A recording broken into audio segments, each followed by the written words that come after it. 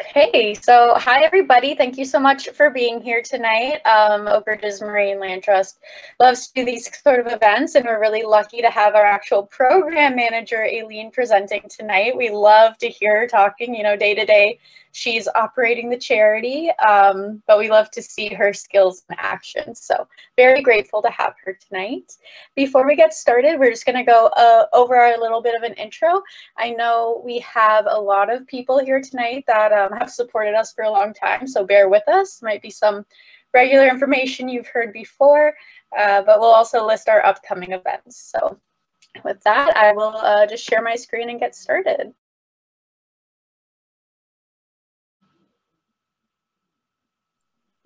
It's going to get started with a land acknowledgement as we always like to. Um, so we would like to start off by acknowledging that we are on, on the traditional territories of the Wendat, the Haudenosaunee, and the Anishinaabe peoples, whose presence here continues to this day. We would also like to acknowledge the land we are on is at the meeting place of two treaties, the lands of the Mississaugas of the Credit and those of the First Nations of the Williams Treaties. We thank them and other Indigenous peoples for sharing this land with us. We would also like to acknowledge the Chippewas of Georgina Island First Nation as our closest Indigenous community. We acknowledge this land and the people because the first step to reconciliation is recognizing the existence of Indigenous people. A shared understanding of how our collective past brought us to where we are today will help us walk into a better future. We give deep gratitude to the Indigenous peoples of these lands who have been stewards of this land since time immemorial. The Oak Ridges Moraine Land Trust endeavors to honor the land and its treaties by strengthening our relationship and responsibilities to them. Thank you for joining us in that. We do find it's really important to stay mindful of land acknowledgements and different groups may have different ones, so always listen carefully to the words that are spoken. Now, just to explain sort of what the Oak Ridges Moraine is and why it's so important, nature that was created 13,000 years ago during the Ice Age. Um, it is home to hundreds of rare and at-risk species, which is extremely important to us. And one of the reasons it's important to everyone is that it is a source of drinking water for over 250,000 people. Additionally, it does have um, a lot of rivers and streams that kind of go along with that fresh water. 90% of the moraine is in private ownership, which is actually good in some ways as we could secure that through donations or purchases um, and 5% of the moraine is wetlands. Now, what do we do? Uh, we envision that natural environments important to sustaining life are protected forever. So it's not that we are buying and selling or having donations and then giving it away.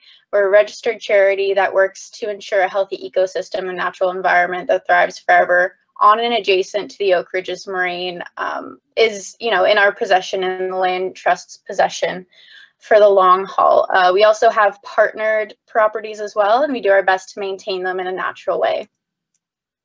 So if you haven't seen it, this is a map of our uh, Oak Ridges Moraine. So as you see, it stretches all the way from Peel to Northumberland. And the little dots there are actually our properties. Um, we have about, we have 60 and counting um, as of 2021, and we're really looking forward to increasing that number. One of the ways that we secure properties is through the Ecological, Ecological Gifts Program. Uh, it creates land that is federally protected forever, which is extremely important. Landowners leave a legacy for future generations, and it creates a significant tax benefit for landowners who donate land um, or do it through a conservation easement. Now we also do outreach and education programs. These you'll be very familiar with as this is an example of one. And we do have a couple of free programs, although um, obviously things are updating constantly with the current situation in the province. So one that is happening for sure, and I uh, really hope all of you participate this weekend, is our Backyard Biolympics track and field. This is a fantastic opportunity to go outside by yourself, with your spouse, or with your family and practice what you learn at this webinar. Um, it's really great. You just use a mobile app, take a picture, and submit your pictures of tracks to us, and we'll count up all the observations and see how many we can get as a group across the region. We also are doing a safe hiking webinar. This is great for people of all ages. This will take place on February 9th. Um, it just teaches you what to pack, how to prepare, how to take care of your footing, making sure that you're not slipping and falling and causing injury. Um, like I said, it's important for anyone that's looking to get outdoors. And lastly, we're doing self-guided walks every other Friday afternoon um, with booked times from 12 to 3. This is a new program that we're launching and basically we are not doing an organized event, but we're allowing you on our property for the first time ever to, to uh, enjoy the trail on your own. If you want to stay in the know, we, we do have an e-newsletter um, and you can follow us on Facebook. We tend to post our events there as well, um, so you can find out when they're scheduled. And if you want to ask us about how to do that, you can email us or phone us and I'll put it on the next slide as well. So again, if you want to contact us or learn more about registering or becoming a member with us or giving a gift, this is our contact information. Um, and if I go too fast for you, free, feel free to just ask it in the chat as well. And if you have to ask questions um, during the presentation, throw them in the chat or in the Q&A box, and Aileen will get to them when she can. Thank you very much. I'm going to stop sharing now and uh, let Aileen take over. Right. Hopefully, uh, doing that? Oh, okay. Are you done sharing? Because then I can do it. I don't know why it's not letting me. oh, there it is. All right. Technology. That was awesome. All right. So um, we're here. We're going to talk about tracking different animals. Um, it is going to be kind of an introductory, but at the same time, there is a lot of information. Um, I tried to make it fun, but you can see up over here, I've got a snowy owl, and over here I've got a barred owl, and over here is my little long-eared owl. So you can see they're quite small. Their bodies are only about that big, just long, long wings. Just so it, it was kind of a little bit more fun than just watching me. got some nice dead um, taxidermied animals, because why not? Um, I don't normally have them for the record. They're uh, an education tool that I just happen to have at home because of COVID and things like that. But it is, um, it's always good to be in a random meeting and pop up some owl over your head. um, I'm going to be cracking jokes because I can't see or hear you. I'm just going to assume you're all dying in laughter and, and thinking it's the funniest thing ever. Okay, so learning animal tracks. Um, I learn every time I look at a track. I, I'm I still get stumped. I got stumped last week on a track, um, which turned out to be a very unique track, and I'll talk a bit about that. Um, animals never, you know, they're they're wild, they're alive. They they follow most of the rules, but there's always exceptions. Um, and there's also different conditions. So we're going to uh, talk about some of the things that you need to consider when you're, I guess, evaluating or analyzing a track. Okay. So things to look at.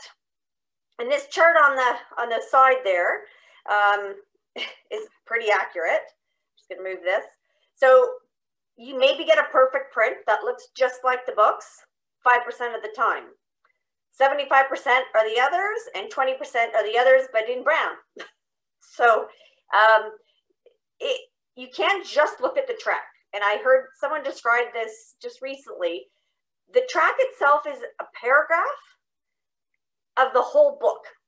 And if you read the paragraph, sometimes you kind of get the idea of the book, but you really have to look at the whole pattern. Um, the print quality is never going to be great, at least around here. Um, snow is very variable. There's days when it's slightly warm and the snow isn't quite melting, but it's still, I guess, damp enough to, for an animal to leave an impact and it's not deep enough that you lose that detail then it's like, woohoo, I can see everything. Uh, I had one of those days last week. It was pretty cool. um, where was it taken? So I'll see people that, you know, downtown Toronto, and they'll say, is this a wolf? No, sorry, wolves have nothing to do with people. They don't like them. They're up north. Um, you know, was this a lynx? Mm, again, probably not in Toronto. However, you never know because a moose showed up at Markham. So uh, we're going to look at shape, the number of toes, the size, the scale is very important, and then we're going to look at measuring, how to measure properly. So let's just move to the first one. So again, where was it taken? Um, here's the wolf on the right. This is the current distribution of our canids in Ontario. Explaining this is a, a whole other webinar and about 10 more after that. Um, there's a lot of neat genetic stuff, but in this area of York region, uh, Toronto, seeing a wolf is not going to happen. I mean, it could wander down like a moose, but they're not persistent. Our coyotes, um, there, there's that term coy wolf. It's eastern coyotes. There's no two separate things. They do have some wolf DNA from historic breeding. They're not still at it.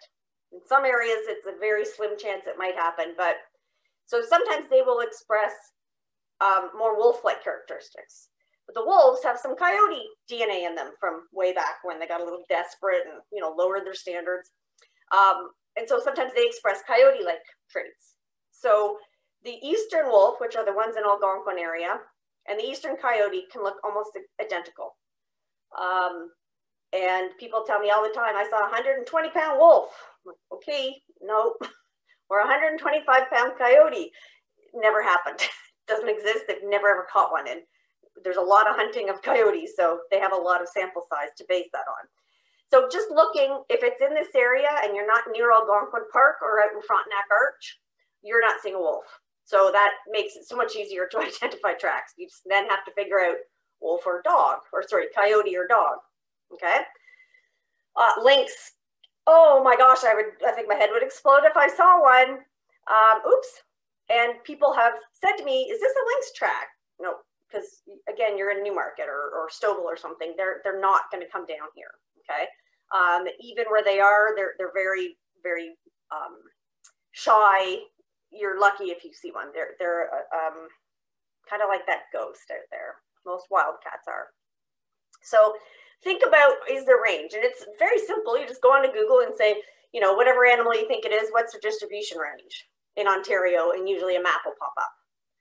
Um, and then that helps again, you know, when you first look at a track, you have all these potentials. So you have to kind of narrow it down.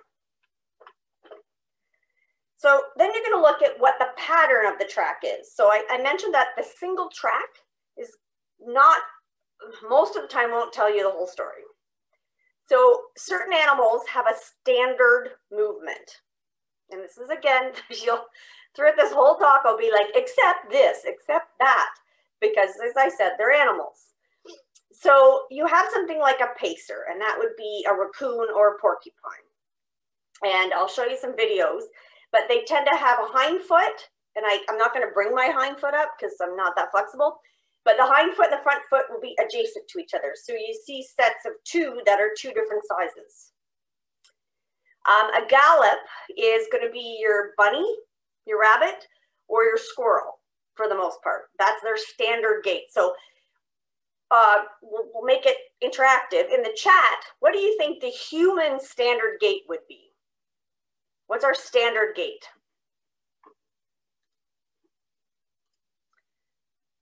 Deb. Uh, Pacer some days, Heather. this morning was one. Yeah, it would it would be a diagonal if we had four feet. Um, so we're we're gonna walk one two one two. If we had four legs, it would be diagonal. So we also run, we hop, we crawl, we dance, we do all kinds of crazy things but our standard gait is just a walk. So for something like a squirrel, they can walk. You see them doing that weird, it's just weird when they do it, but that weird kind of walk. But their standard gait is the gallop. Okay. Um, a coyote standard gait looks like a trot, but it's a diagonal gait. Doesn't mean they're not pouncing or sniffing or doing different things. So we're going to look at the standard gait. So again, when you're looking at a, a pattern of a track, if it doesn't make sense in the, this immediate area, keep following it. So uh, at one of our properties on Thursday, I saw a track and I was like, what on earth is this? It made no sense. It was two little footprints and a diagonal um, pattern and I couldn't think of anything it would be. So I kept following it and then I figured out what it was. It was a short-tailed weasel.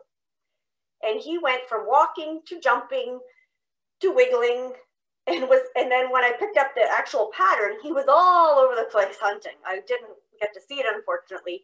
And there were so many different gaits. At one point, the difference between one of his bound gaits, which is their standard gait, is the bound, was six feet. So you're talking at like basically a chipmunk size weasel that can jump six feet. But then in another track, it was doing a diagonal walk. And then another one, I'm still not sure what he was doing. He dug up or spun around or something. So follow the track and usually you'll pick up, they'll revert to that standard gait. Does that make sense to everybody? I hate this because I can't see people nodding or looking at me like I have three heads. and it's hard to follow the chat too. Okay, people are on it, good. Um, so the bound, the things like a mustelid, um, and that's the weasel family. So that is river otters, mink, um, wolverine, but not down here. Um, fisher, short-tailed weasel, long-tailed weasel. I'm forgetting one. Least weasel. Um, that's their their standard gait is that kind of hopping. So you get sets of four. Uh, sometimes it'll look like two because the feet are almost on top of each other. And then diagonal, as I said, coyote um, and also deer, but they will do what's called um, a double register perfect placement, and we'll, we'll talk a bit about that. So this is your pattern, and that will help narrow it down to, again, you're taking that big, oh my gosh, what could this be? And you're getting it tighter and tighter and, and reducing your options. Uh, keep in mind, so a lot of the tracks you see out there that people think are coyote or something else are usually dogs especially locally and especially right now because everybody's out in the forest and the dogs are everywhere, is that animals work on an extremely efficient and tight budget with their energy. Energy in, energy out. And they have to hunt to get that energy to come in. They don't have excess energy. So when you're looking at um, a, a, pattern and you're like, oh, this could be coyote, it's diagonal, but then it goes this way and that way and circles and back and and all that it's got a lot of energy and that's not typical of a wild animal because they conserve it. You might see it. So I, I, I saw this awesome one one time and it was three coyotes. I found an area where deer were bedded down and then I could see tracks coming in from three different areas. And then there was just chaos in the tracks. And what it was, was the coyotes saw, oh, there's a couple deer down. They're not going to take a healthy deer, but maybe one of those deers is sick or injured and, and it's an easy catch. So they'll push and get them to move. And so there was a bit of scurrying and a bit of that kind of, but it was still in one, even with that, it was in one straight direction. And after about maybe 400 meters, obviously the deer were not injured. There was no blood. There was, they were running fine. The coyotes went, nope, not worth their energy. Stop the chase. And then I found a half-eaten squirrel. Poor coyotes. Deer, squirrel. Hmm. So, but even then with that chaoticness, you could still tell the story and it wasn't, there was a reason behind them not just going in a straight line. So if something is going around and back and forth and all over the place, uh, it's probably not a coyote. okay? We feed our animals. They don't have to worry about anything. So they tend to have a lot more energy than uh, the wild animals. Okay, so we're gonna, I'm gonna show you examples of some of those movements. So the first one is our little raccoon. Hopefully you guys can still, oh, I think I have to, can you guys still see this?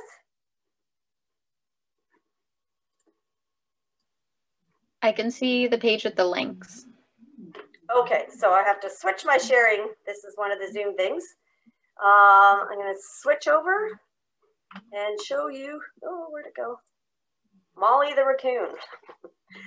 All right. Can you see it now? Yeah. Okay.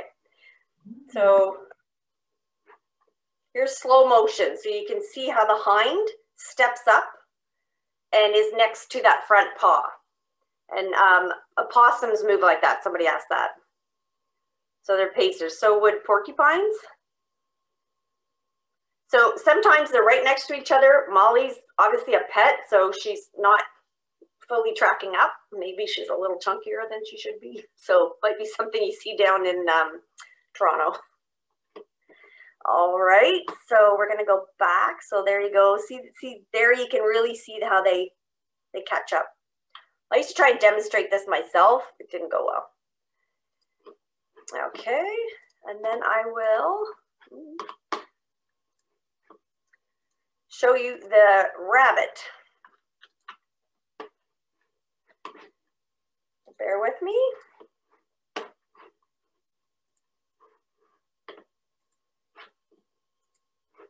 All right. So here we have the rabbit gallop. Now, if you watch, the front legs land one after another. And if you look, the hind legs go in front of those. I hate when they fast forward. The, hind legs go in front of those two front legs. So even though that's a gallop pattern, it's going to have a bit more of a Y shape to it. And we'll take a closer look at those. And then what's my next one? Squirrel? Nope.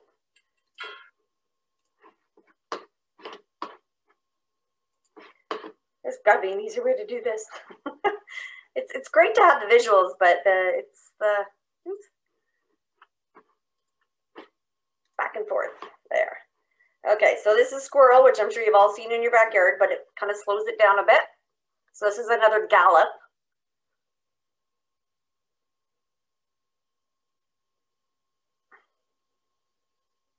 That's a bit more of a bound. Come on, squirrel, faster.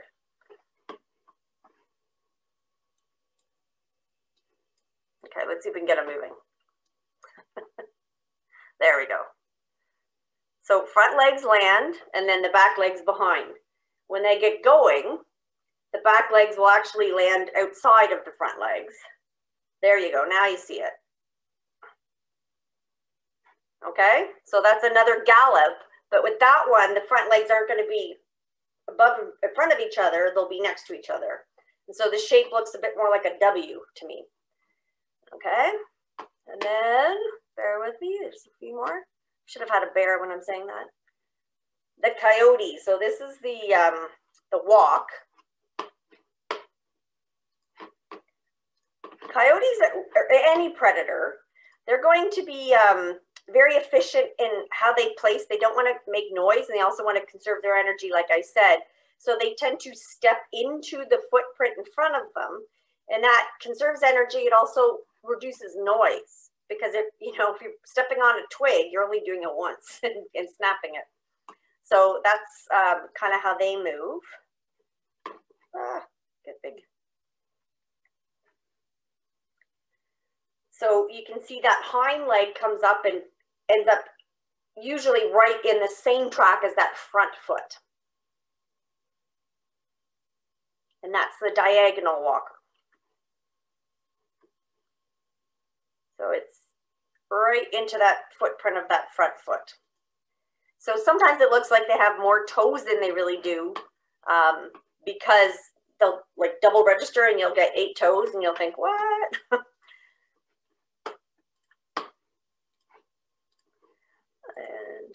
this one. Okay, so here's, this is their standard gait, the trot. And again, you can see that back leg steps right where the front leg is. When they slow down, it changes. There's anyone who ride horses, it's a trot gait.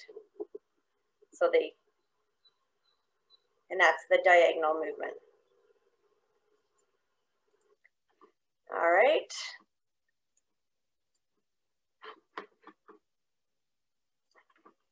And then one more, I think.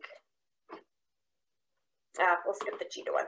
Okay, so that is hopefully give you a bit of a visual um, that's better than me trying to do it, that uh, demonstrates those movements I was talking about, the pace, the trots, and, and how they, they place their feet in, okay? So let's go to the next one. Oh, and then this video here. This is a pine marten. And we'll get to the mustelid family uh, because they, um, they don't follow a typical rule some of the times. so there we go. So next thing you're going to look at is how many toes they have.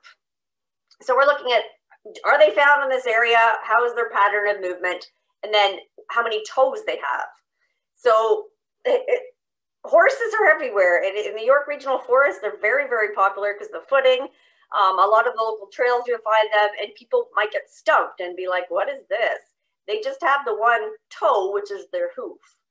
Um, and what can really mess it up is if they're barefoot or if they have shoes on. Um, and some of the shoes are, are interesting. Uh, there's ones that prevent snowpack, so they have a bubble on them. So you'll see a hoof print track, and then either like marks from the studs and this weird round center thing. And it can distort. If it's clear, you can see, you know, it's a horseshoe shape. But if it's distorted, you can think, what on earth is here? Um, but if it's a one toe, we're just going to have a horse, and they are very common, or a donkey. So that's easy one toe, and there's little Sparky there, my sunshine. And there's a just a look. It's kind of some of the variances of horseshoes. So he's got this rubber thing. Sometimes it's a bulb. They have this big deep V, which is a frog. They call it. I'm not sure why, but it leaves a V shape. So you can get some weird looking prints from these guys. Okay. Next one is two two toes. So it's a basically a split hoof or um, two toes, I guess is how we'll call it. So two, um, and that would be deer, moose, and caribou. Around here, you're just pretty much looking at deer with the random moose. Um, and apparently there's a random elk around that escapes from an elk farm nearby. So you might even get an elk print. I've yet to see that.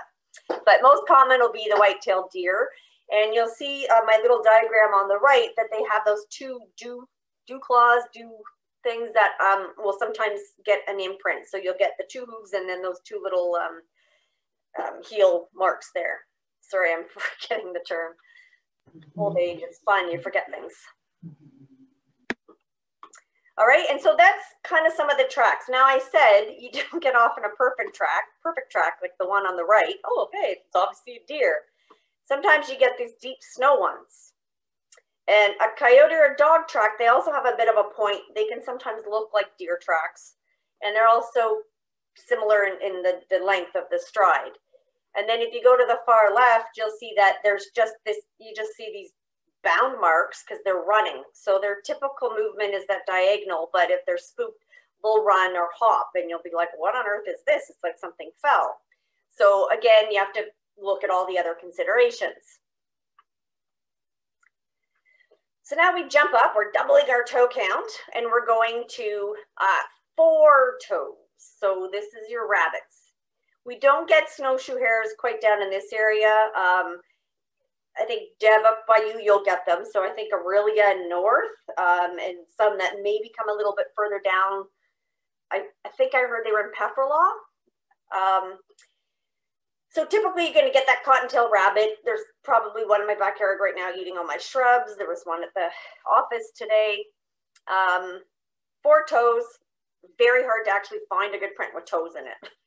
I've been looking, trying to get a picture. No luck. What you'll see here is, so on the right, you'll get that Y shape. And that was, if you think about that video, those front legs landing one behind each other and then the back legs landing. So that bottom picture, the direction of traffic is going to the right. So the front legs, or sorry, the hind legs lead that movement. So you'll see this Y tracks. But again, if it's deep snow, you'll just see these marks, random marks. And you okay, so what do we have here? Then you have to say, well, could it be a deer? No, it's you can actually see the shape of the body into that snow.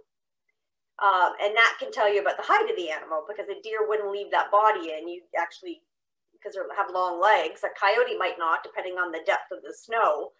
Um, where a fat little dog, like a wiener dog, would leave a very, probably just a big wide belly drag. So, you know, again, it's not just the track, it's what is everything else telling you? Where are they? What's happening? How deep's the snow? Things like that. So you get the good prints and then you get the huh, prints that you have to, you know, investigate a little further. Um, squirrel versus rabbit. So you can see on the left, there's that, again, that Y-shaped rabbit. And then the squirrel is a bit more of a, a W um, with the, the two outer ones and then the two together. They will both do those tracks, the other ones. So um, sometimes squirrels will leave what almost looks like a rabbit track, and sometimes a rabbit will hop and kind of sit and leave what looks like a squirrel track. So that single track might not be the only thing you want to look at. You have to look beyond. Um, if it comes off a tree, starts at a tree, ends in a tree and disappears, it's probably not a rabbit. It's probably a squirrel. So again, that, you know, look at more than just the one print. All right, number of toes, we're still at the count four. Uh, and cats and dogs are also in this four count. Um, domestic cats are, are out there in the forest. They're either pets that have wandered or people somehow think that, oh, I'm going to release my cat into the wild and be wild again, and they dump their cat. They're not. so please don't do that. They're domestic. They're not part of nature. They cause a lot of destruction and they don't fare well. It's horrible for the cats. So four, four toes is in the cat. Um, I have heard stories about bobcat around here, but a long time ago. You're not going to see a lynx. If you're a northern Moraine, um, a bit further north, you might be lucky enough to find a bobcat track. A cat track will be about the size of a, a toonie, maybe a little bit bigger if you have a big tom or something. Um, a bobcat will be maybe about twice that. So smaller than the, the kind of bottom of a, of a, a pop can. And if you find one, let me know because I'd love to see one. I'm still looking. I so close, but, it wasn't. Um, they tend to be rounder. And so when we go to dog prints, I'll show you the difference. And I'm just trying to look at the chat. If there's anything going on, Nikki, I'm trusting you to unmute and let me know. Um, so these are the kind, again, you're not going to get that perfect print that they show you in the books. You'll get something like this in the sand or this in the snow. Something to remember about cats, what do they do with their claws? They retract them. And this is a really neat adaptation. So when they're stalking, so dogs, coyotes, wolves, dingoes, all that, they will chase prey. Cats will stalk and then pounce. So when they're stalking, nails will inhibit their ability to feel the ground they're walking on. They cannot take their eyes off that prey. So they have to be able to feel their way and see what they're walking on with their feet because their eyes are focused on what they're stalking. So their nails retract so they don't interfere with that. But when they need that grip, out they come, either to grab the prey or if something slippery. Canines, because they chase, they want that grip all the time because they're they're chasing. So their nails don't retract. So that's kind of an evolutionary thing. So um, if there's no nail tracks at all and it's a bit rounder and it's got four toes, hmm, you might have a cat. If you absolutely see claw marks and it's not a slippery substrate, you probably have a dog or a coyote, and we'll talk about the differences there. Okay. So here we are into the dog family. And if you notice, the prints tend to be more oblong. So a cat one will be more rounded, wider, and a dog or canine will be more oblong. Okay. Here's the fun part. There is a group of dog breeds that they call the cat, what is it? Cat-footed dogs that look like cats because they have a like a more cat-like um, paw print. And that's why I thought I had a bobcat. And then I learned that one. I'm like, oh, make it even harder. Um, but you're looking at uh, more of a, a longer than it is wider with these guys. So how do you tell a dog from a coyote? And around here, this is probably the most challenging track and the most common tracks you're going to see. Which one's which? So our domestic dogs tend to be fed a little bit more than a coyote would. Um, they also spend a lot of their life on hard surface. So they get sprawled out paws. They're also not as fit as a coyote because, you know, they sleep, they do that. Coyotes are always on the go, survival, survival, food, survival. So they have very tight, muscular paws. For dogs, they get sprawled out. They're not, they're a little heavy, adds to it. And so it's uh, a bit different. We also tend to trim our dog nails. Um, or even if you don't, they're also walking more likely to walk on pavement more often. Um, sidewalks, your floors. So their nails are dull. Where a coyote, because they're even in the urban areas, tend to be on soft land and no one's trimming their tails, or sorry, their, their nails, they have sharp claws. So if you see a print and you're not sure if it's a dog or a coyote, if it's got like almost a square off fat nail mark, it's probably a dog. If it's a pinprick, it's probably a coyote. And that's again based on how they spend their lives. So here you see, and if you look at the difference, the nails also tend to point in different directions, where with a coyote, they're all tight and pointing forward. And the front two ones will almost touch like that. And that's when I said they sometimes can look a bit like a deer. Um, on the right, you can see the typical path of a coyote, and again, or a fox. It's straight, it's conserving energy. If they wander to explore something, they, they come back and the minimal least pathway taken. A dog's like, oh, there's my tail. Woo, woo, woo. I got to pee over there. I got to stick that. I'm going to go over there. Oh, there's my tail again. They're all, all over the place. Now, some dogs are nice and they go straight, but they do tend to sniff and pee a bit more than a coyote would. So again, the track will tell you one thing, the pattern will tell you a bit more. Um, the X. So over here, if you look at the two prints, this was, a, I love when I get them side by side. This was a, I think it was a fox print next to a dog print um, and a bunch of people prints. Can you guys see this, how tight this X is? Again, that, that tight, tight, tight paw, that fit paw, the not overweight at all paw, um, it'll have a, an X. So cats won't have that, anything else won't have it. Dog, the X on the dog tends to be kind of more of a, an H shape. You can see that, it, it kind of has this wider part. It's not that tight of an X. So that's a really good way of telling them apart. There are very, very fit dogs. Um, we have a farm dog um, up at the, the horse place and she just runs around all day long. And sometimes I have to take a double look at hers because she's so fit that she has that tight paw. She also is not spending time on asphalt because she's running around the fields happily. So, but again, I can still see that she's chasing her tail and going here and going there. So and here's another comparison. So uh, on the picture on the left, we'll open up the chat. Which one do you think is dog and which one do you think is coyote in these two tracks? Oh, where can I get my chat there? Come on. Okay, so on the left picture over here, there's one track and then there's another. So which one is dog and which one is cat? I mean, sorry, coyote. It's been a really long day, bear with me.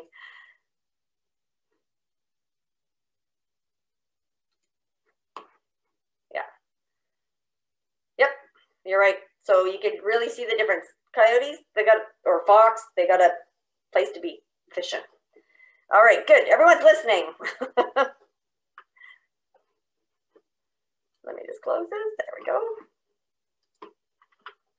And so I just saw that the uh, question about what's the difference between other tracks but in brown, it's just a joke. That basically 95% of tracks aren't very good. the humor. I love when I have to explain my jokes. I have to do it way too often. I should really refine them. Um, here's another great example, and this was down at the Aurora Arboretum one morning. I got out there early, um, and dog and coyote next to each other. So you can, here you can see not just the pattern, you can see the track difference. So a very oblong, the nails are pointing forward, you get that X. And then on the right side, you get the dog and it's, the, the nails are a bit sprawled out. Um, the X mark is more of an H shape. They're kind of dragging their feet. So side by side, you can see the difference. Now you'll notice that within the two prints, that one is bigger than the other. The front paw is bigger than the back paw. And that's because the front paw supports the chest, the head, more weight. We kind of, because of our hands and our feet, we assume the, the back feet would be bigger. But with these guys, and any animal that's on all four, their head and everything is, is heavier, so their front paws um, will be bigger. So that would be cats and dogs, basically, canines and, and felines. With something like squirrels and bunnies, it's the other way around. But you can see, so this, this would be the rear, and this would be the front. Uh, just check questions. Okay, we're good. There we go. Um, I, I will admit, one of the things that I struggle with is telling an individual fox track from a coyote. So their stride length, which we'll talk about later, is very, very similar. They're only off by a little bit. And I don't always have a measuring tape with me. Normally I do. Um, when you get a good clear print, you get this kind of, um, they call it a, a, chevron shape in that back heel. Um, and you can see it here. It's also, they have more hair on their, their feet. So if you get a typical wild canine print, but the back part's almost not clear and it's broken up, it's fuzzy, it's because they of the hair and the coyotes don't have as much fur on their paws. So they'll get a cleaner back pad print. Okay, but if if you can get um, a really good clear fox print in this kind of just shallow, just landed, not too wet snow, you might actually get to see that that little kind of extra chevron at the back. Um, I thought I had a pair of coyotes in a forest for a while, and then I saw the baby foxes and went, oh, I was wrong. uh, so they are very difficult to tell apart. Here again, you know, if the prints look like this diagram, you wouldn't need me. Um, but they never do. So this kind of shows some of the differences. Uh, you can see that kind of chevron shape. Cats, I said they're they're wider than they are longer, but they also have, if you get a good print, this three-lobed shape at the bottom of the heel pad, where a coyote will be um, either kind of like almost like a V shape or at most like a, a two-lobe flat thing. That's a technical term. But cats will have that one, two, three. So if you get a really good print, you can actually count those three lobes. And again, no claw marks. All right, so now we're getting more toes and we're on the five and four. So um, the rodents will have five hind toes and four front toes. Of course, I'm looking at that. That's actually, I think, backwards. Anyways, because I'm like, oh, I can see five. Um, however, saying that, they, they do have five, four, and do claw. Anyways, um, good luck seeing an actual print of a mouse. They're so small even in that great snow, you see patterns, you will not see tracks. Um, but those patterns, and these are very challenging, will tell you a bit. So a mouse tends to jump, they do that bound, but they'll also walk, but they have those long tails. So you'll see a tail mark. A shrew has a tail, and this is something I just learned this week. Again, you learn something every time you go out. Um, but they spend a lot of their time, and, and same with moles, underground. Voles, meadow voles will run, they only have a short tail, so most of the time you won't see a tail drag. But if it's deep snow, that will sometimes register a tail drag. So these are not easy. Um, the one I got had big feet, so I thought originally weasel, long-tailed weasel, but there was a tail drag, and it was a thick, fat one. And I thought, is this a rat? But the width was too narrow for a rat, uh, like one of the Norway rats. There, they would be a bit wider. I was completely stumped. I posted it. Nobody responded. Finally, someone said, wow, you've got a star-nosed mole. And they spend most of their time underground. And for whatever reason, he was out that day and he said there's certain periods where they'll come out. And he was all over the place. And I couldn't find a hole of him going back into because sometimes they'll come up for a little bit and go under. So I had no idea what it was. And and he was all excited. He's like, this is rare to find prints like this because they were all over the place. So he still gets stumped. Um, and that was, but you could, I could narrow it down to rodent with a tail. Now, if you know what a star-nosed mole is, and I apologize, I meant to put this into the presentation, they have those big, big front claws to dig and tunnel. So those are making the big prints. And in the winter, especially, they carry a lot of their storage of their fat into their tail as like a storage unit, I guess. So that's what left that really defined tail, which I assumed, you know, star-nosed mole doesn't have a big tail. I assumed that big, ugly, nasty Norway mat rat running around. Um, so sometimes you need help and you'll get stumped. Rodents, you can tell it's a rodent. That's the easiest thing to do. You can't always tell which one it is, okay? So that's my very short one. Here's some examples. So here's a mouse that kind of sat. So you have that long tail impression because he sat up.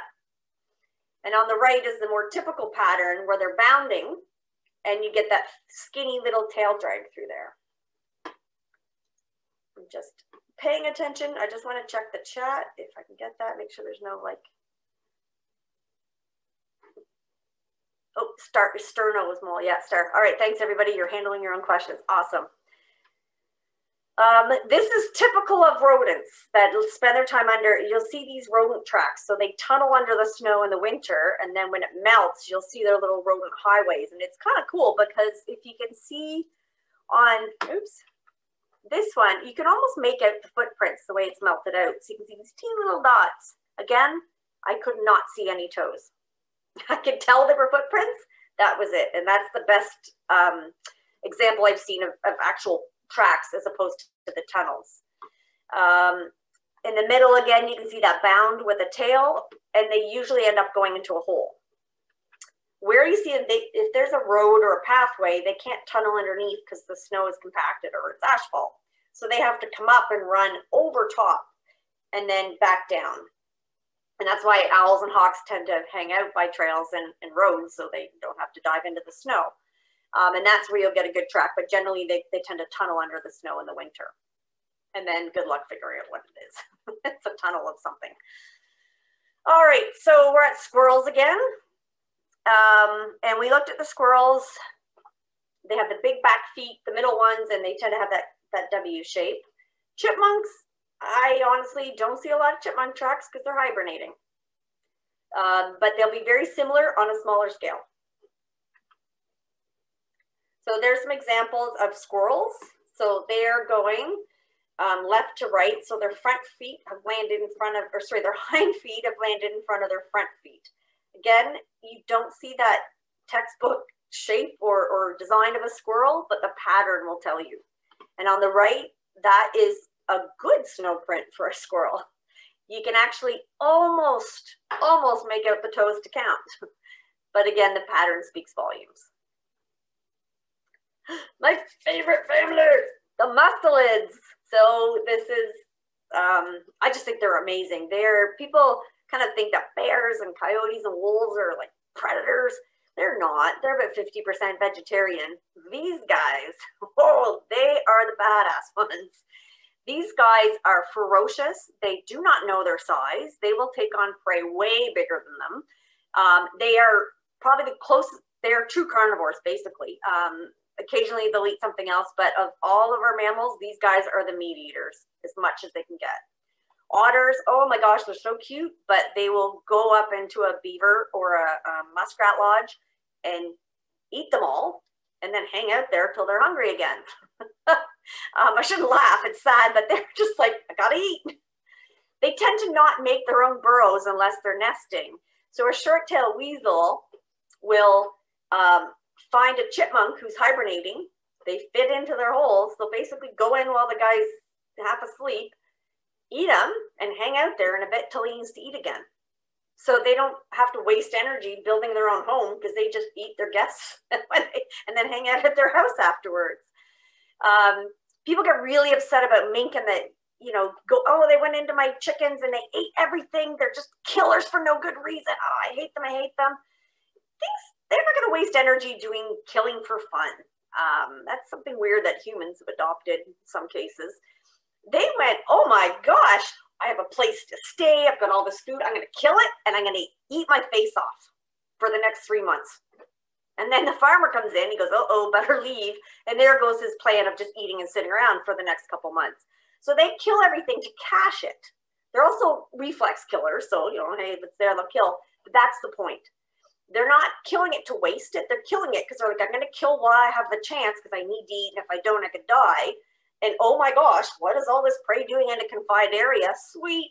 Kill, kill, kill. I'm going to eat for months. Yeah that's kind of their animal instinct with a little less humor or animation to it. Uh, they're not killing for fun. They're killing because they're like, great, I've got a cache of food forever until it rots. Um, so a lot of people don't like them because of that, but they are phenomenal predators. They have five toes. They tend to often be in a, a very shallow J shape. So you can kind of see going left to right with the weasel, the right side is a bit lower. So they have this kind of arch, lopsided, upside down J shape to their prints. So here we go, river otters. We do have them around. Um, 20 years ago when I started, we were looking at reintroducing them because they weren't down here, but then found out they were already here. Um, they've been seen in stormwater ponds, Fairy Lake. Um, I found this one in a forest at a beaver dam. Um, twice, two different beaver dams I saw them this summer.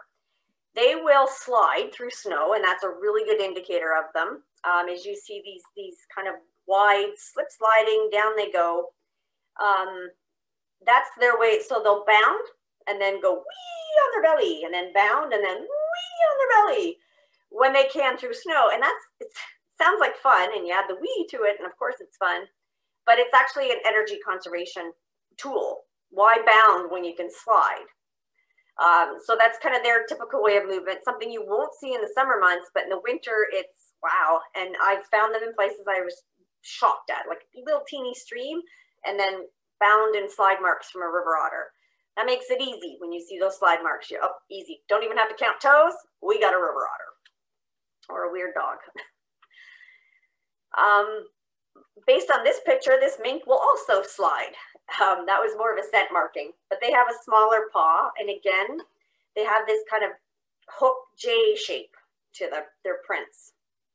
Um, I found these ones, this was last week, perfect snow conditions, and I think the best mink tracks I ever found.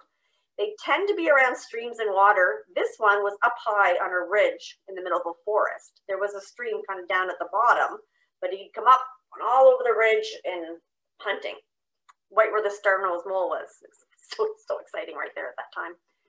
Um, so at the bottom, you can see that bound, and it looks like they're bounding with two feet, but they've actually bounded and, and placed the feet so it's a double register. So four feet have landed in two tracks. But again, they can roll through the snow and, and make different tracks. They're not, they're consistent to some effect, but these guys change their pattern up. This was my super exciting find on Monday night, about 15 minutes from my house in Newmarket, Fisher tracks through the forest. Um, I was out at night and there was dog tracks everywhere and lo and behold, I just happened to glance and went, oh, fishers, how did I know? See these two by two tracks? That's Fisher. It's actually four by four, but it looks like two by two. So they do a bound, but they do it at kind of an angle. And what that does, it kind of keeps their, their nose free on this side. And coyotes and, and foxes will do it too. They'll do like a side movement. It's to keep their nose free to pick up the scent so that they don't interfere with it. I don't know what the difference would be in front of you or side, but apparently that's what it is. So these guys do a side, a two step. So you see these offset two, and that's their bound marks. Um, and on the left, is all the pictures have been my own, but I still have yet to see a fisher. but uh, so there's a borrowed one here with uh, permission and credits, and you'll see their, their feet. Um, they are in the same family as river otters and skunks and weasels and wolverines. These guys are closer to Wolverines. And then here's, again, your typical, this is up in Pefferlaw tract one. And um, you can almost count the toes in this print. See, one, two, three, four. Oh, there's the fifth one down there. So even if you think, oh, there's only four toes, you have that offset J pattern, and that will tell you it's mustelid. And then size and location will tell you where you're at. Um, so if it's small, little teeny ones, you're in the weasel family, and they're a bit harder to tell between least, um, and especially between short tail and long tail. Um, location's the best guess for that one. Um, but if it's river otter ones, sometimes can look like fishers, but if they start sliding, you don't have a fisher. If they end and go up a tree, you've got a fisher because they climb trees. Pine martens are also in this family, but you won't see them down here. Um, there's been no record of them for a long, long time. But if you're in Algonquin Park, they are everywhere. They will sometimes have this two by two pattern. Sometimes they'll have all four patterns. Sometimes they'll have a walk. Um, but again, you're looking at the, the J shape of the toes. Even if you can't see the toes, you just see that shape. And, and that when they go to their standard gait. Hopefully that makes sense. Okay, so we're the second group of five toes. And these are our ones that are going to do that, um, I call it the waddle, but it's the, um, I, can't remember the, the track again. I always call it waddle, but that side-by-side -side walk. Um, and that's your raccoons. Most of the ones that aren't dog are raccoon when you're at tracking. Big, that group covers about 75, 80% of all tracks you'll find. They're high five. So raccoon always look like they're a little high five in the snow. Um, you have these long, skinny fingers, and the thumb tends to be off the side, not totally off to the side like a, a possum, which we'll look at, but it's like a high five, little teeny high five. And then again, big foot next to the high five in sets of two. So not that kind of bounding one we looked at the Fisher, but two different sizes next to each other, even. So here's an example of that. So you can see that kind of high five. Again, this is tracking. You're not going to get a perfect track. I've been trying for years. But the little hand is next to the big back foot. Okay, and two by two by two. So can you guys see the difference between that one and the two by two by the Fisher, which is a bound? Okay, it's slightly off. It's, it's close. And the more you do this, the more, the more you'll pick up on those subtleties, but hopefully it makes sense. And somebody asked about the opossum. These are the coolest tracks to find. Well, besides a Fisher or a river otter, but the shape of them looks like those old Ikea things you used to get on put on your walls. They're like a high five, but they're a splat, a splattered high five. They have these thumbs that are almost opposable. So the front foot is on the left here, and it's like a splatter high five. But the back foot, you can see it here, the thumb almost totally bends backwards. So you'll get, it looks like um, the toes are pointing forward, and then you have it like a disjointed thumb coming out here. So you can kind of see that in the bottom one. So you've got your toes forward and then this weird, awkward thumb going the other direction. But then this cool splatter high five, which is almost like a star. And that's a possum. Again, if you look at the high five here is more like a high five with your thumb in. And then the opossum is that splatter high five. Very cool tracks. Nothing looks like it really. Once you see them, you'll be like, oh, that's what she was talking about. The splatter high five from Ikea. Uh, hopefully, I'm not dating myself there. hopefully, people know what I'm talking about with those splatter things you used to buy to put on your wall and stuff. Um, striped skunk. They're very distinct, but because they're not very active in the winter, they still will come out in a warm night. Um, you don't see the tracks as often. And I was fortunate to find these ones on the side of a wet road, and it's the best skunk tracks I've seen, and probably only a handful of tracks I've seen of a skunk, because again, it's winter. They have, again, it's, it's five, looks like a raccoon, very similar. And I had people say, nope, this is a raccoon. And I said, nope, it's skunk.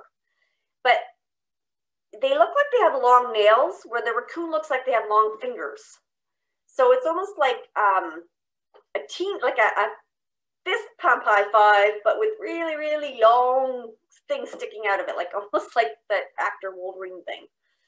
Um, so you can see that they also tend to have, and you can see this in the back foot a bit more, they have a broken pad. So you'll see the, the toes or the fingers, a pad, a, a separation, and then a bottom pad. So it's like three sections, the, the weird long nails, the front pad, a break, and then that back pad. And that's a skunk. Again, not common to see, um, but you might see them in a garden if it's if it's you know, you have wet mud or something like that. But in the winter, you're not going to get a really good shot of them. And that separation in those toes might not show as well in the snow. Inner beaver. Um, they are everywhere in near water, so they're very common. This one was taken down at Fairy Lake. Everyone knows them. Um, they do have that webbed back feet, but that doesn't always register. So again, we're at five toes, and bears in here too. So I found these tracks one day and I saw this drag thing being dragged. They were so close. There was five. The size was right. I brought out my measuring stick, everything, and I thought, oh, I found the Fisher tracks. Cool. and it's dragging. So fishers eat porcupine. I thought, oh, it's dragging a porcupine. This is like the coolest track ever. And then I noticed there was no blood. And I couldn't figure out why. So I kept hoping I'd look up and see a fisher eating a porcupine in a tree or something. So I followed the trail and I thought, no, something's not right here. There, there's no way. It was a beaver and it was the weird, again, it was in that same area, the river, river otter track, skinny, skinny little teeny stream, typical of the moraine and it was dragging a tree of some sort or a branch, um, not a porcupine. so the fact that there was no blood, I went, oh, then I had to go back, reassess, remeasure, and I was not even considering beaver because of where it is. No, it was a beaver. And I saw the one track, it dragged one thing, never found a chew mark, never saw another track again. Just this random once, once beaver. Um, so that one stumped me, but again, I had to think through. I had to think of the situation, not just the track, because I thought it was a fisher.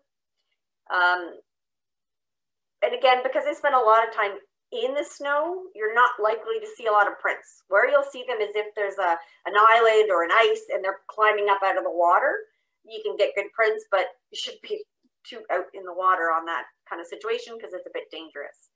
Um, but five toes, they, they tend to do a bit of a, a diagonal walk, but they'll pace sometimes if they're slow moving.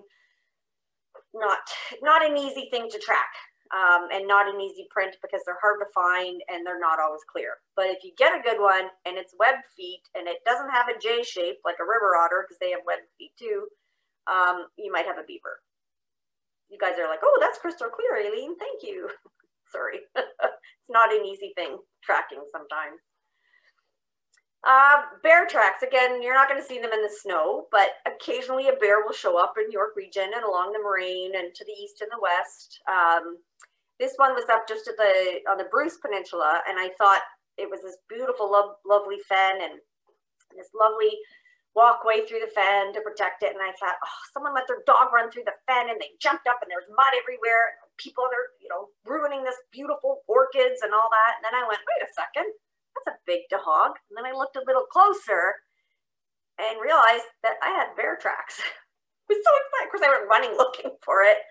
Um, but it had gotten out of the fen because it was muddy and then followed the nice casual um, walk across that uh, boardwalk out to the parking lot. It was easier. So they tend to have um, the back foot's a bit longer. It's the front track is going to look wider, so kind of like a, a cat track, so it's wider than it is longer, but you're going to have all five toes, and it's it's very wide. It almost looks like if you were, or not me because I have small feet, but if a man were to walk on his tippy toes, you'd see that kind of that base print and then the five toes. Um, if you see a bear track, there's really very little you can confuse it with. It's five feet, and it, it honestly looked like someone's tippy toeing. So maybe you could confuse it with a tippy toe person um, and they do a diagonal walk. Lumber. They also tend to turn their, their paws in a little bit, so they tend to have like a, a, a pigeon toe kind of walk to them sometimes. But you don't see them often. Um, I've yet to find a track down here, and I know areas where they're, they're common. Um, the oddball tracks. These do exist. They are called polydactyl cats, and they have multiple toes. So talk about a tracking challenge. If you were to come across this, like, what? Aileen didn't talk about six or more toes, but these do exist. They're rare, but they are out there. Um, also the double register, which I mentioned that if someone with something with four toes oversteps and they're over, you may look like you have six toes or eight or something. Um, six is more often, sometimes even five, because it's just, they're so perfect placement that just one little is off. Um, so sometimes you can get multiple toes and that is going to be a lot of detective work to figure that one out. Okay, so uh, how are we doing for time? Okay, good.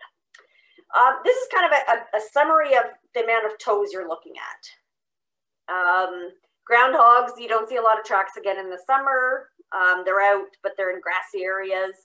And then in the winter, they're cozy and sleeping in their bed. So some of these things you're not likely to see. Winter is the best time for tracking where we are, and you're going to look at, you're going to get deer, rabbits, the cats, dogs, canines, raccoon, mustelids, maybe a beaver muskrat. I didn't even get onto muskrat. Might get a possum, possibly a porcupine. Um, they're pacers as well, and they very, very totem. I left that one out for time. Um, and then your, your rodents, okay? So that's kind of a, a, quick summary of everything I talked about. Count your toes, look at your pattern, etc. So now we're gonna look at size and scale. And this is one thing that makes it so hard because someone will post a single print in snow and say, Aileen, what's this? Um, is there some scale to that? so if you look at the left track, and we're gonna, I'm gonna check out the chat. What do you think I have based on what I've taught you? Is it a coyote? So all the nails are pointing forward. It's a tight print. You can see the X. Is it a coyote?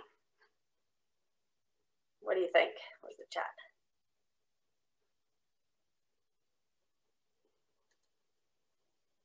Don't have a chat anymore. Is anyone out there? People are answering. Oh, okay. I've, I've lost my chat then. Okay, okay yeah, we're so, getting lots. Let's okay, see. I think the consensus is yes. It's a coyote. Okay. All right. So it meets all the criteria. It's without scale, you're not going to know it's my little crazy dog, Minnie. She's no longer with us. She, if you look at the muscle, she was nuts. She could jump over six fences. She ran the vet actually had a hard time giving injections because she was so muscular from jumping. You can see it kind of here. Um, she was not overweight because she had a knee problem, and I was I kept her thin for that reason to protect her. Um, but without scale, that looks like a coyote print because she had those tight things. She was a nightmare to trim her nails, so they were pretty sharp too. Um, but scale is everything. Some, not everything. It's a big chunk of it. So whenever you're taking a picture, scale. If you want to look at it or ask somebody, put scale. Um, you'll notice in some of my pictures, I have my Burt's lip balm. I always have that on me because I get dry lips when I'm out in the winter. And that is like my standard one because I forget an actual measuring tool. Um, I do have a, a, loose one that I carry in my backpack that I will pull out when I actually need to. If it's not obvious, I need to do some specific measurements of stride, which we'll look at. Um, but if, if you want help, show something, put your foot in there and say, you know, it's a size six woman or it's a size 15 men, um, something for scale. That makes a big difference for IDing. Um, measuring. So this one was one that was posted on the York Region Nature Group. Um, any thoughts on what this could be? And Nikki, you're going to have to read them out for me because I don't know why I can't see the chat. Yeah. Fox, we've got from the Whartle family. All right. Cat, cat. Oh, now I can see it again. Turkey. GMO. All right. Um, so this was a cat slide. So you can't see, but there actually was, there is a claw register because it slipped and then uh, put its claws out to try and stop the slip. And this one looks like it has one, two, three, four, five, six toes. Um, it wasn't a polydactyl cat. It was a, um, a double register. So the front stepped in the back. And again, that's something they'll do on slippery or deep snow, again, conserve energy and protect and, and quiet. So this was a cat track. It was originally submitted straight up like this. And I said, can you go back out and put a ruler next to it? and take a closer picture of it. And she did. And I said, Can I borrow this for my presentation? This is awesome. Um, so, you know, sometimes it's not that obvious and there can be tricks. So, scale is important. And how do you measure scale? So, when you're measuring, there's two things you want to measure. So, the stride and the straddle the stride on a diagonal walker or anything is going to be the from the front toe to the front of the toe of the back foot. So the front toe of the front foot and the front toe of the back foot. That distance from toe to toe is your stride length. And then you can look at it up, you know, if you have a good guide and it'll say, you know, oh, if it's, you know, 12 inches stride, it could be fox. If it's 16 inches stride, it could be coyote. And then you want to look at the straddle, which is the distance from um, the outside of both paws. So I mentioned the star-nose mole. When I looked at that, it was not wide enough for Norway rat, rat which is what confused me. Um, so that will tell you much. So that's how you can measure one. And if you can get one of those little kind of pocket um, measuring tapes, the metal ones, that's great. They're just throw them in your backpack. Uh, not they don't weigh a lot. I made the mistake of getting like a kind of you know the ones you use for measuring your your waistline as it grows in COVID or whatever. Um, a thin little one, thinking it was great, but when I lay it down and try and take a picture, it it's wiggles. So if you can get a firm one, a metal one, like the one in the picture, even one of the little ones, it, it's a great way to get your measurements out when you're tracking. Okay, um, so you're, looking at your toes, your measurement, your location, your scale, other things that can make it even harder. Melting. Um, you see this quite a bit is, oh my gosh, this track was huge. And it looks very similar to the one on the right. And you can see by just that dark gray in the ice that the geothermal heat from the ground underneath. So this is common in um, the beginning of the winter typically, or if it's a very warm day. When it melts, it, it's, it's called melting out. And so it melts out wider. And so a standard, uh, I don't know, hound dog track can end up looking like a, a mastiff track because it melts out. So if you see a track and it looks giant and it's got this kind of gray ice on it, it's likely that it's melted out and your size then will be distorted. So the other factors you're going to look at are again the number of your toes. This stride length won't vary as much as the track length. Your straddle length is not going to be affected as much. So look beyond the track, look at the picture, the whole picture. Um, mud drying has the opposite effect. It'll actually shrink in the sun. So you'll get a track that gets smaller. Um, slips, like the one on the left, this looks like it's got a huge hind paw. This was a slip. That was the cat track that slipped. Um, babies are immature. So if it's springtime, I mean, even into early fall, you might get, I once found a deer track that was this, about as big as a quarter. And it was a brand new baby doe. It was the cutest little track. Um, so sometimes that can mess up your, your length and your measurements. And then as I pointed out with my Netzo dog, uh, fit dogs can also look very much like a coyote. Okay, if they're right next to someone walking and they look like they're the same thing, um, same age, I guess, you probably have a fit dog. So while you're measuring, and this is why field guides are, are good, um, this is kind of the breakdown of the strides and what you have. What's hard to find with coyotes is that a lot of them are the Western coyote measurements that you find in guidebooks, and we have Eastern coyotes and they're a bit bigger.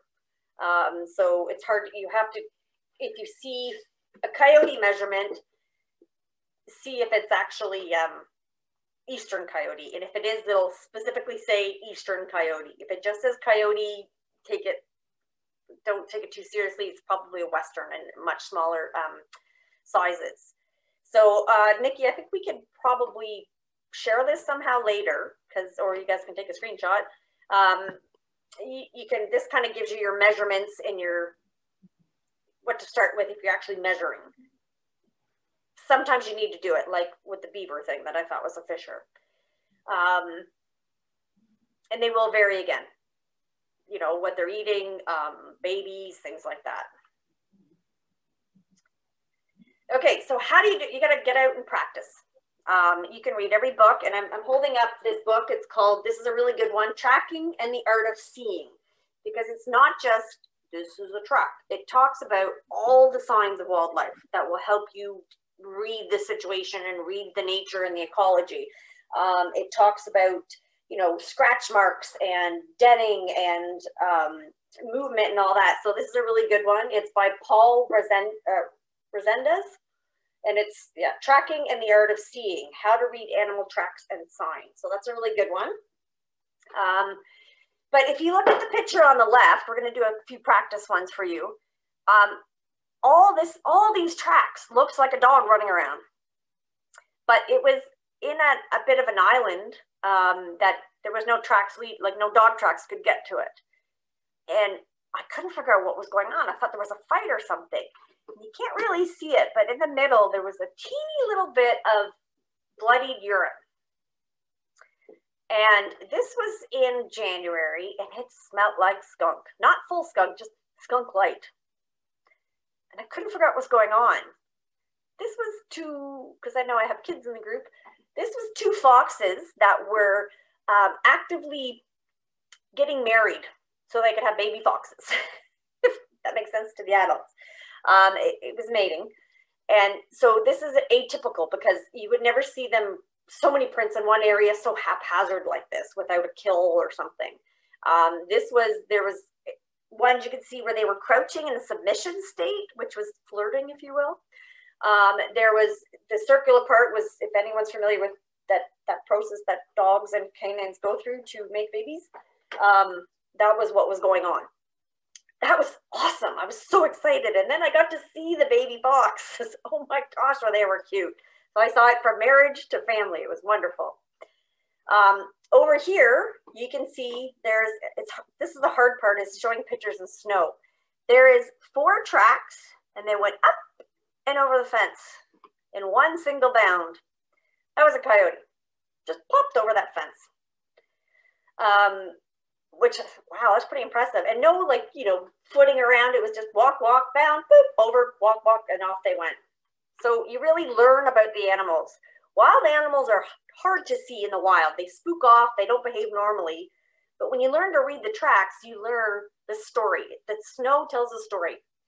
Um, and you can learn what they're doing, how they behave. I've learned so much from tracking, more than seeing animals, because they behave differently in your presence, because they're like, ah, human.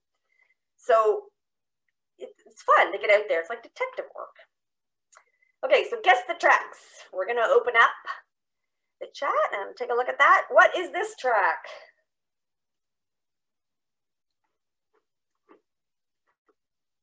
All right, you guys are learning. Honeymoon, yep. All right, you got the Virginia Opossum, the little uh, high five. All right. How about this one?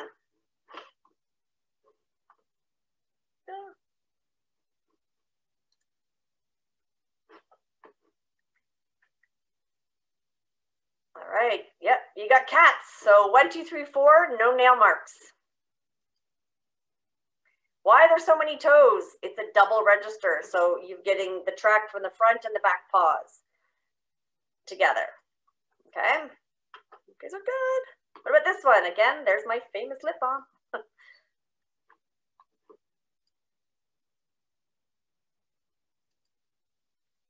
Job. High five. All right. Oh, Smarty with the procyon. Procyon. I would say that wrong. Right, you've got the high five with the not the crazy IKEA thumb. That's your raccoon. You can also see they have this kind of hollow bit in the middle of their paw. Um, it's not always there, but all right, you guys are good. Uh, what about this one? It's a bit hard to see, but this is tracking.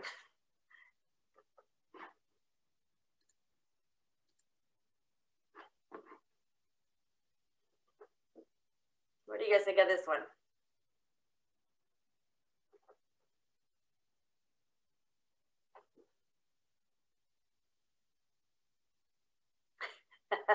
yeah, you got the, yeah. All right, so this is a double register mink track.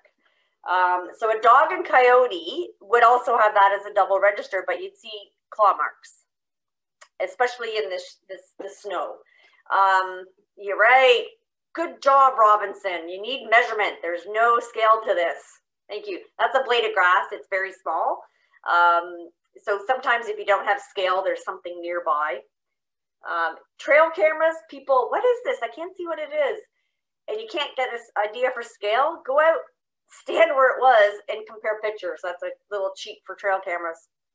Um, it is a mink track and it's a double placement. So you guys are good. This is tough. If you picked up on the J shape, um, you picked up on the need a measurement. Just keep in mind about the nails. You can't see the nails. And again, this track alone, I would have been, no, not really entirely sure, but when you stand back and if you saw the rest of the tracks, you'd see it was a bound um, movement and it was along a stream going in and out of the water, onto the ice, into the water, onto the ice. Um, raccoons won't do that. All right, what about this one? Looks like a cartoon.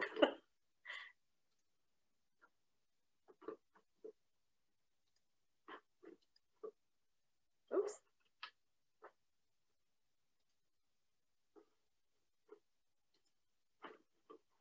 All right, we got dog, fox. All right, so we got nail marks on this one.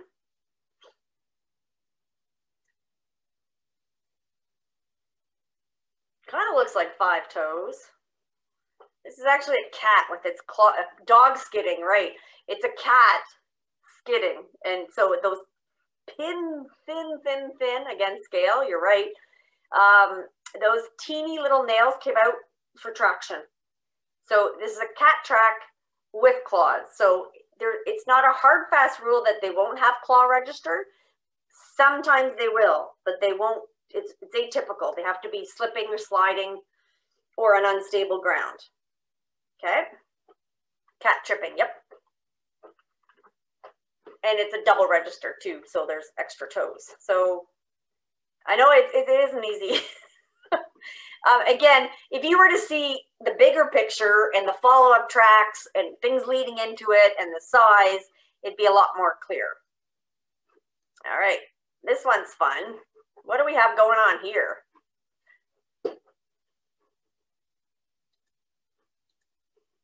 Oops, sorry. Deer. Okay, but what's going on here?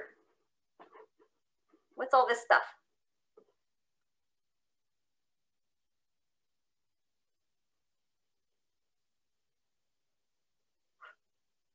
Bird.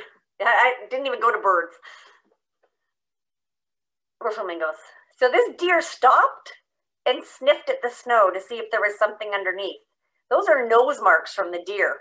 Yeah, or licking snow. So that was the face going into it. So that was kind of cool because you deer track, deer track. And then I'm like, what happened here? I'm like, oh, cute, it's nose marks. Um, so again, you learn a bit more that they're stopping and, you know, as you said, licking or sniffing at the snow as they go. And then they kept walking, sniffed, and then started digging it up and finding stuff. So this is why I used to hate winter. I love winter now because I go tracking. Um, and I learned so much about wildlife. It's so much fun, just properly. And yeah. All right. And the next one.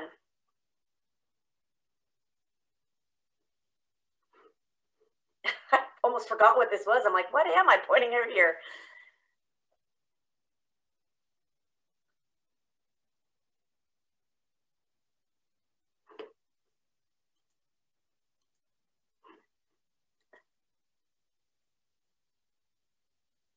Coyote and a rabbit, yeah. That's a good guess. I'm actually like, what is this again? Now I'm having to look sideways at it. Now I remember where I got this. So for scale, because there isn't any, you can see here there's some pine needles. Um, and those are white pines, so they're about um, an inch and a half, two inches. So um, this was a fox that was kind of doing a weird gait. Um, so when I talked about foxes and those fuzzy feet, um, you can see here how the tracks kind of, they don't have that firm hind print. So that was the, the fur of that furry fox foot. Say that three times fast. Um, and he was kind of doing a weird hopping movement. I'm not sure why, um, but it wasn't the typical diagonal gait. Um, oh, it was, I know what it was. It was up a hill. And so it was kind of bounding up the hill, but I turned it sideways to mess with you guys. Now it's all coming back to me. I did this presentation a while back and, and uh, I add stuff in and then forget I'm doing it. So it was actually going up a hill. So uh, I tricked you a bit there. At least it's easy to type. Let's try saying it. All right. What about this one?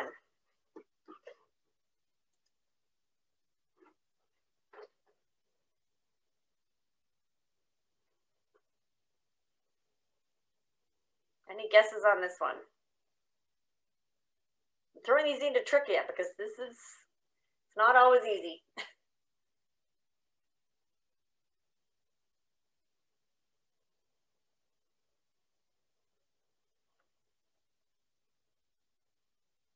ah, Miss Sharp got it. Is it Miss Sharp? It's C Sharp. They got it. Yeah, Derek got it. Right. Snow blobs. Um, and I've seen them because if they're on a drip line of a tree, they'll actually look like a solid track because they, they almost look like they're going in a straight line. When it gets warm, chunks of snow will fall off, or if it's windy, um, or even ice sometimes, like icicles that from melting, and it's this it plops, and it almost looks like tracks. So again, looking at just them, you have to kind of stand back and say, okay, if they just end where the trees end, it's probably not something. Um, so you have to look beyond that individual track at the bigger picture. And snow blobs can really, really mess with you. they, they fall in remarkable patterns. Okay, so I'm encouraging you guys to go out and track. Um, it's it's a lot of fun. We have this event this weekend where you can go track. You post it on iNat. We're doing this cool augmented reality thing um, that you'll have to sign up to find out about to get out in tracks. And even if all you find is dog and squirrel tracks, you'll start to know you're only finding dog and squirrel tracks. And then you'll start to see when there's that one different one. Um, where I was walking is a popular trail and there was dog tracks everywhere. And I just, and it was at night and I just happened to glance over and immediately picked up those, those Fisher tracks because they stood out. Um, so get out there, make sure you know where you're going. Um, you, you tend to, I've actually tracked, um, tracked myself lost.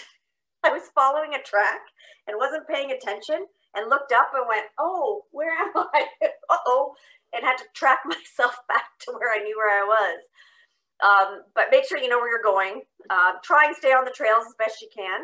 A good hint is that if you're walking on trails, dogs will kind of go back and forth all over the trails, but wild animals will come from the forest straight across, straight across the track and keep going parallel. So when you see that pattern, then you say, okay, I don't want to look at my 500 dog print. That's different. That's not running around. That's going perpendicular to the trail. I got to take a closer look at that and see what's there. Okay. Um, watch out for things like poison ivy if you're out in the summer. Hypothermia, dress properly. Layers is great. Wear stuff at the base that'll wick away.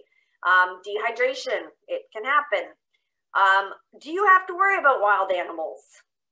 Not really. If you're, yeah, I don't, even bears are really not, don't like people. They, they have great sense of smell and hearing and they will skedaddle. Um, coyotes, I, I track coyotes, fresh prints trying to find them. And I have caught up with them a few times for a split second and they're gone. I'm five foot two. I'm out by myself. I'm I've had a lot of encounters with coyote and never once have they even have I even thought about it. They're gone the second. Um, if you're with your dog, they might spend a bit more time, especially now because it's love time for them, um, and then baby time, because they don't understand why this dog is in their territory. So they might take a second look at you. Um, about nine, I think the stats, 95 or more coyote interactions with dogs are dogs off leash. So especially this time of year and when pups come out, keep your dog on a leash if you're out looking for them. Um, it's very stressful for the animals to have dogs running around. They, they don't see them as a pet dog. They see them as a predator and it's, oh, why is there so many predators running around? Um, but generally wild animals, unless you're wearing a meat outfit lying still for multiple times, you don't really have too much to worry about. Other people's dogs off leash, I've had more interactions and bites and jumps and stuff from.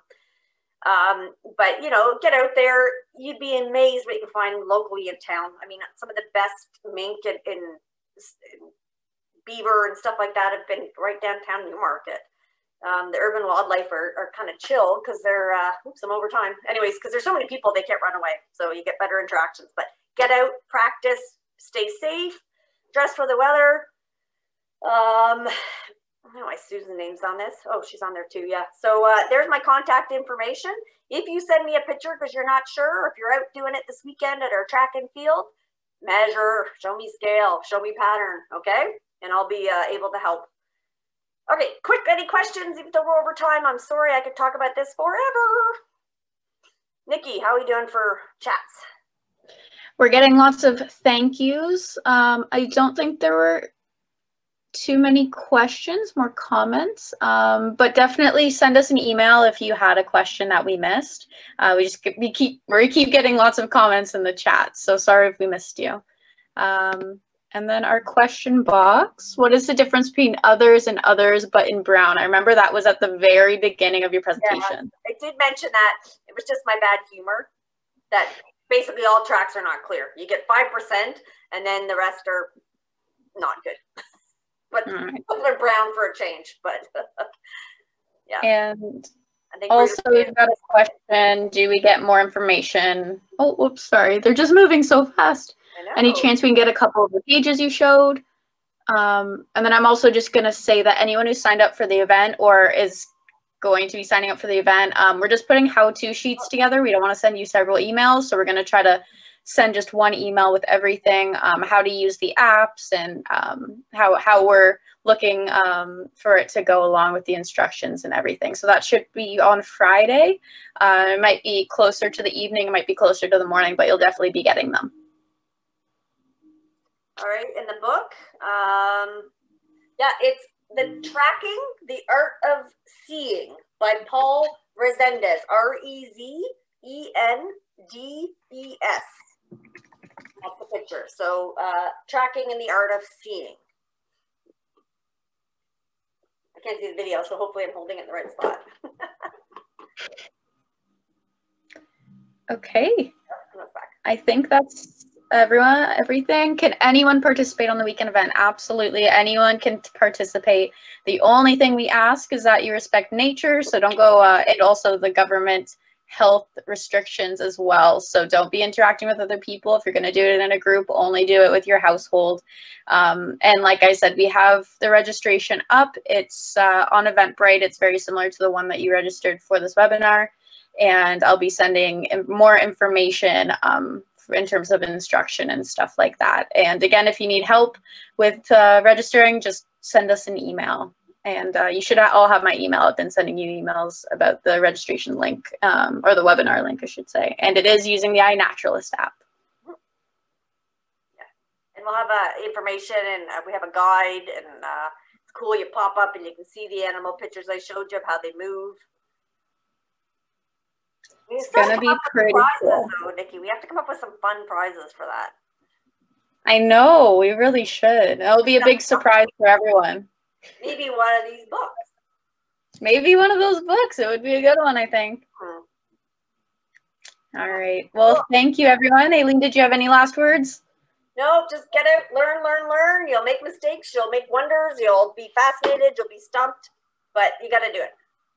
Absolutely. All right. Have a good night, everybody. Thanks so much for coming. Bye, everyone. Bye. Stay safe out there. Oh, the name of the tracking book. I'll type the answer. Um,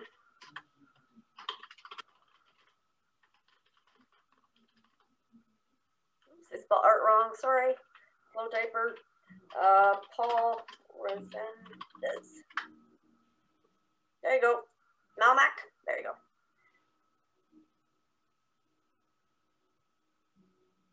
All right. Thanks, Nikki. Good job. All right. Thanks, everyone. Bye. Bye, everyone.